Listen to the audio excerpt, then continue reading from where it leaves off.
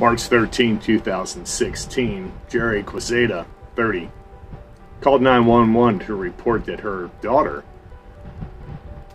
Leilana, age 4, had injured herself in falling in the shower. When police arrived at the Grand Prairie, Texas residence, the little girl was not breathing and had bruises covering her entire body. She was later pronounced dead at the hospital.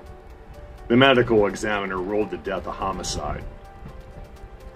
While being questioned by police, the mother confessed to the murder and implicated her boyfriend, 34 year old Charles Pfeiffer, or Filfer. Sorry, Filfer. P H I L F E R. She told the officers that they had both been shooting heroin that night.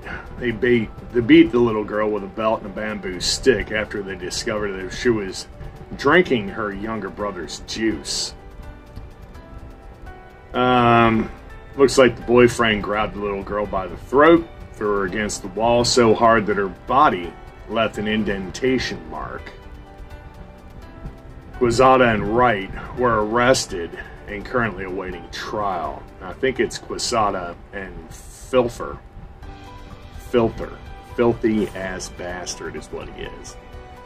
After the little girl's death, her grandparents, Craig and Alyssa Clackley, stated that they knew she was being abused and gone to CPS several times for help, even though they had turned over photos of the young girl covered in bruises. CPS deemed the little girl was safe after conducting one in home visit.